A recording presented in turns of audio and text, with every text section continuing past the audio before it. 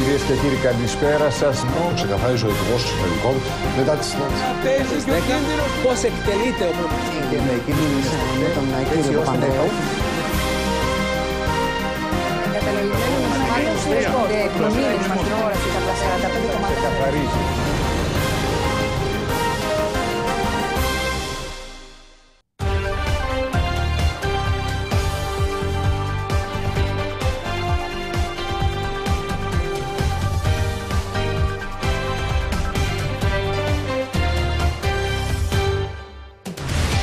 Φορτισμένο κλίμα η συνεδρίαση της κοινοβουλευτικής ομάδας του ΠΑΣΟΚ Εποφελής η Συμφωνία των Βρυξελών, σώσαμε τη χώρα από τη χρεοκοπία, δηλώνει ο Πρωθυπουργός.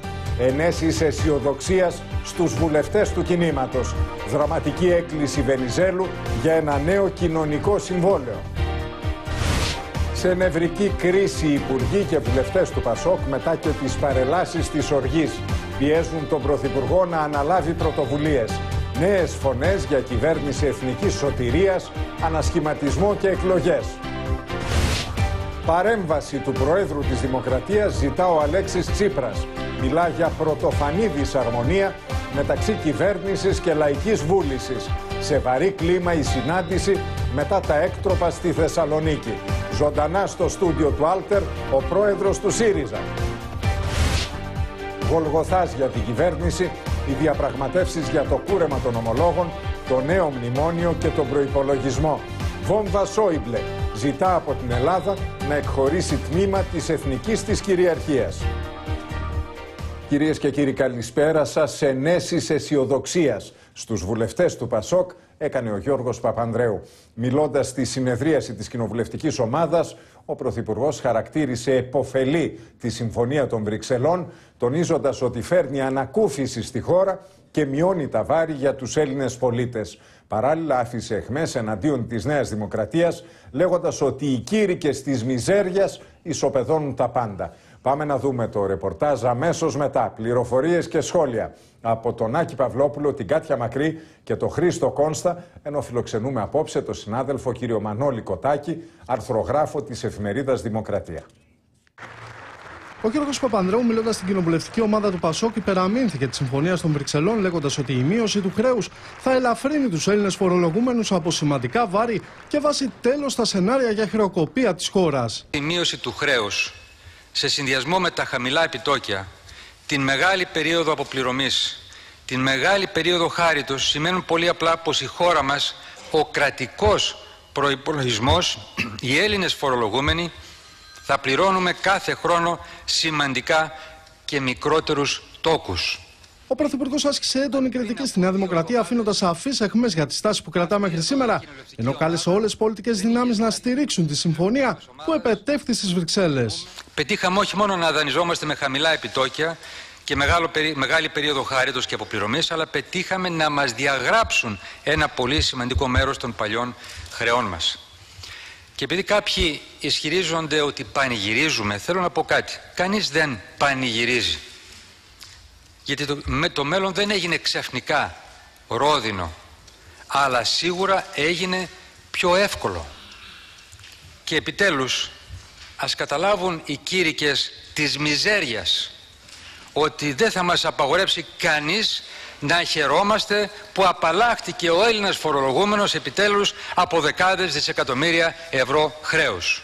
Αντιθέτως, εξήρε τη στάση των βουλευτών του Πασόκ σε μια προσπάθεια να χαμηλώσει τους τόνους στο εσωτερικό του κυβερνώντο κόμματος που μοιάζει με καζάνι που βράζει. Τίποτα από όλα αυτά δεν θα είχε συμβεί αν πριν από δύο εβδομάδες αυτή εδώ η κοινοβουλευτική ομάδα δεν είχε σταθεί στο ιστορικό της ύψος στάθηκε η κοινοβουλευτική ομάδα του Πασόκ, του Πασόκ στο ιστορικό ύψος των στιγμών για να μπορούμε να έχουμε μια ευεργετική για το σήμερα και το μέλλον των επόμενων γενεών απόφαση για τη χώρα μας. Ο κ. Παπανδρέου απάντησε και στις βολές που δέχεται αλλά και στις ανησυχίες βουλευτών του Πασόκ για επιτήρηση και επιτροπή στην Ελλάδα από την Ευρωπαϊκή Ένωση. Ξανά άκουσα συζητώντας με τους εταίρους μας προχθές, βεβαίως χρειάζεται μεγάλη εποπτεία όχι για την Ελλάδα.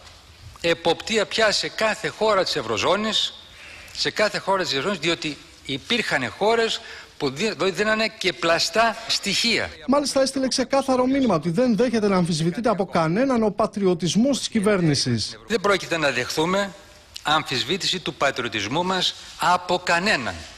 Από κανέναν. Κάνουμε το πατριωτικό μας καθήκον. Με καθημερινές δύσκολες αποφάσεις.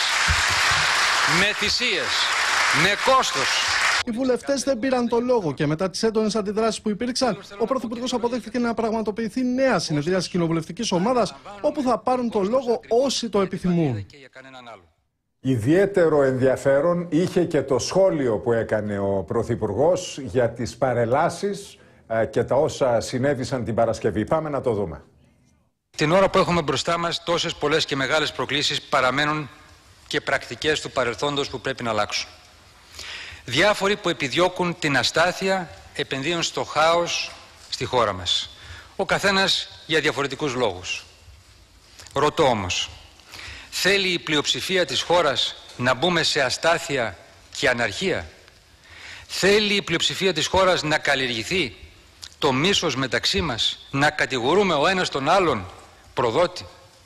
Θέλουμε τον εθνικό διχασμό και θα είναι λύση αυτή για την Ελλάδα θα είναι λύση για τα προβλήματά μας. Θα αλλάξει τα κακό κείμενα εάν χτυπηθούμε μεταξύ μας. Εάν παίζουμε κλεφτοπόλεμο και θεωρούμε ηρωισμό το ότι ματαιώσαμε εθνικές παρελάσεις. Αυτή είναι μια ηρωική, πατριωτική στάση. Εάν συμπεριφερόμαστε με βία απέναντι στους εκλεγμένους, το τονίζω αυτό, εκλεγμένους εκπροσώπους του ελληνικού λαού εκλεγμένοι εκπρόσωποι του ελληνικού λαού.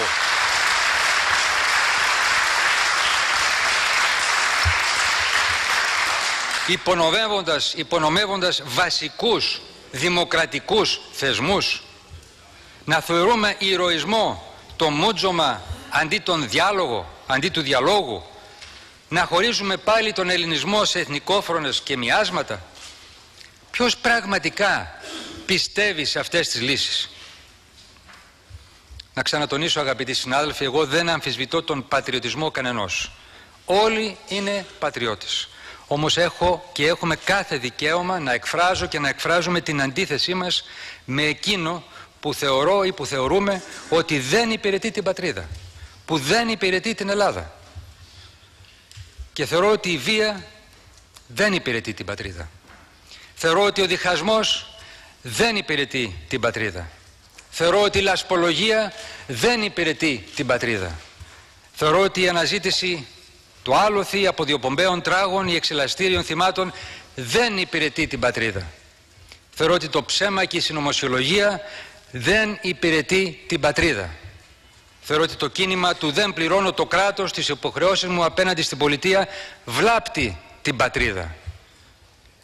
Λέτε αν κλείναμε τα σύνορά μας στους Τροϊκανούς θα έφευγε το πρόβλημά μας ή αν στείναμε λαϊκά δικαστήρια όπως κάποιοι πολιτικοί ανεύθυνα προτείνουν. Θα λύναμε το πρόβλημα της οικονομίας μας. Θα έφευγε το χρέος από πάνω μας. Θα διορθώναμε έτσι την παιδεία μας. Θα κάναμε πιο καλή τη δικαιοσύνη. Θα σταματούσε έτσι η φοροδιαφυγή. Θα φέρναμε έτσι επενδύσεις στη χώρα μας. Θα αλλάζαμε έτσι το σύστημα υγείας. Θα καταφέρναμε την περιφερειακή πράσινη ανάπτυξη. Θα αλλάζαμε έτσι το πολιτικό σύστημα. Νομίζω ότι τα ερωτήματα αυτά έχουν την αυτονόητη απάντηση. Αντί να αλλάξουμε την Ελλάδα θα την πηγαίναμε σε ένα νέο και ίσως αιματηρό διχασμό.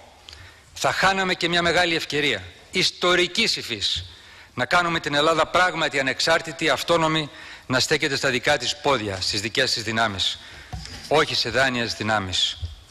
Αυτός είναι πατριωτισμός.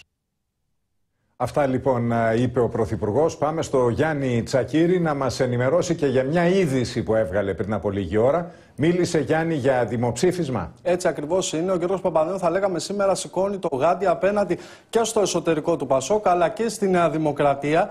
Ανακοίνωσε λοιπόν από το βήμα της κοινοβουλευτικής ομάδας του Πασόκ ότι θα πάει τη συμφωνία των Βρυξελών σε δημοψήφισμα. Είπε χαρακτηριστικά να πάμε σε δημοψήφισμα. Είναι μια εθνική απάντηση στο μείζον εθνικό ερώτημα. Δεν είναι η υπεκφυγή. Όλοι πρέπει να αναλάβουμε τις ευθύνες μας. Θα έλεγα ότι είναι μια κίνηση ξαφνική του Πρωθυπουργού. Δεν το περίμεναν ε, ακόμα και οι στενοί τους συνεργάτες. Είπε ότι δεν έχουμε να φοβηθούμε τίποτα από αυτό το δημοψήφισμα και μάλιστα έγινε δεκτή η ανακοίνωση αυτή με θερμό χειροκρότημα από τους βουλευτές του ΠΑΣΟΚ. Νωρίτερα είχε αναφερθεί και στο ενδεχόμενο συγκυβέρνηση, στα σενάρια συγκυβέρνησης που έχουν ακουστεί όλο αυτό το τελευταίο διάστημα. Τι είπε ο Πρωθυπουργός, ουσιαστικά έβαλε πάγο σε αυτά τα σενάρια, λέγοντας ότι κάτι τέτοιο είχε ουσιαστικά επιχειρηθεί να δοκιμαστεί την άνοιξη. Ωστόσο, όπως είπε χαρακτηριστικά, δεν φαίνεται να υπάρχει τέτοια συμφωνία, δεν φαίνεται να υπάρχει κάτι τέτοιο στον ορίζοντα. Γιάννη, πριν προχωρήσεις, να δούμε τι είπε ο Πρωθυπουργός για το θέμα της συγκυβέρνησης. Έχουν συζητηθεί πολλά. Έχει συζητηθεί η λογική της συγκυβέρνησης ή της συγκατοίκησης ορολογίες και πρακτικές που συζητήθηκαν, δεν πέτυχαν, που μένουν βέβαια στο τραπέζι το δικό μας από την αρχή. Προεκλογικά. Εγώ ζήτησα με εκείνες τις δυνάμεις που θέλουμε να πορευτούμε μαζί, να έρθουμε μαζί, να δουλέψουμε μαζί, ακόμα και στην κυβέρνηση. Το είπαμε προεκλογικά. Αλλά μόνο σε μια βάση της ειλικρινούς διάθεσης για ουσιαστική πολιτική συμφωνία για το πού πάει η χώρα. Όχι για να μοιράσουμε εξουσίες ή να πέψουμε τους κομπάρσους σε κάποιους παράγοντες. Και προφανώς μια τέτοια πολιτική συμφωνία δεν φαίνεται στον ορίζοντα.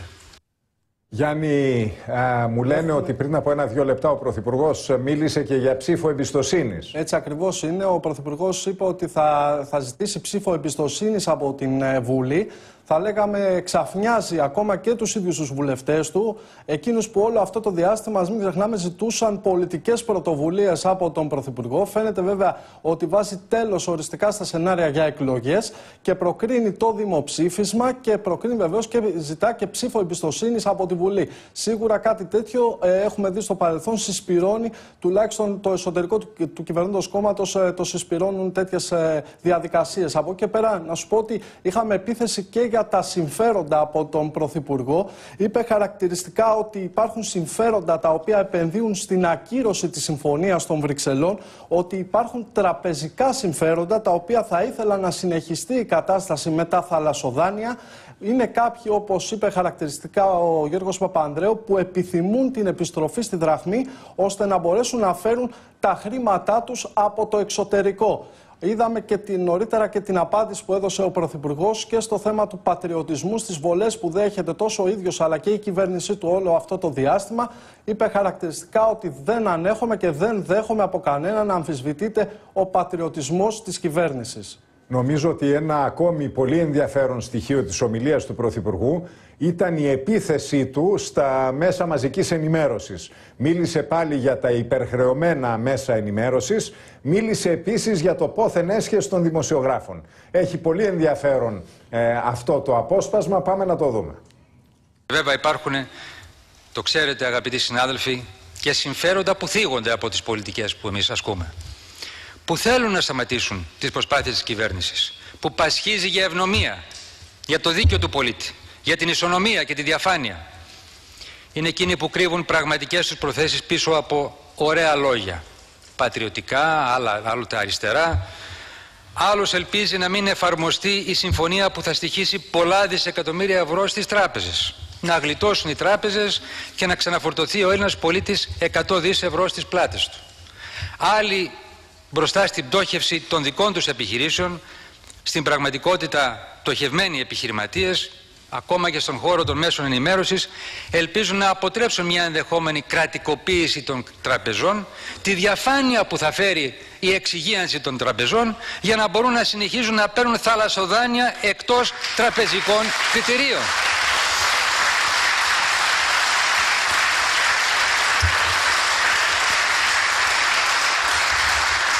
Άλλοι θέλουν να γυρίσουμε στη δραχμή διά της χρεοκοπίας και βεβαίως τα λεφτά τους σε ευρώ να τα φέρουν πίσω έχοντας βγάλει πρώτα απ' όλα αυτά στο εξωτερικό και να αγοράσουν φτηνά μια χρεοκοπημένη Ελλάδα της δραχμής. Άλλοι δεν θέλουν να αλλάξει το νομοθετικό πλαίσιο που επιτρέπει τις τράπεζες να μην ελέγχονται για τις δράσεις τους εντός και εκτός Ελλάδας ή που δεν, μπορούν, που δεν θα γνωστοποιούνται τα ονόματά τους πια στο Υπουργείο Οικονομικών.